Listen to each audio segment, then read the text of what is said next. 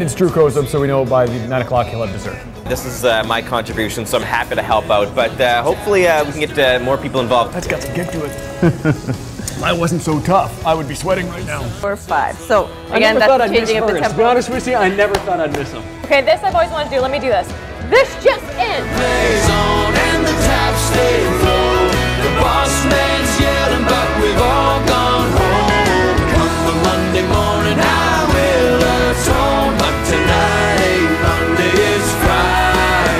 We may have to do the whole show from the, the prison cell. This thing is pretty locked. 274 pop cans are going into this. Jeremy, keep talking. Good. I'll try to clear my throat. No luck. Friends can't trust each other without a No. contract. It's not too old school, but it's not reinventing the wheel. I love chili, I love chocolate, I love creme brulee. Ralph, where's the address? Don't you sit there smiling. Come on, we need to go. It was really tough to get here. Uh, it took a long time, so give yourself extra time this morning. They do have hair dryers, or at least most people do.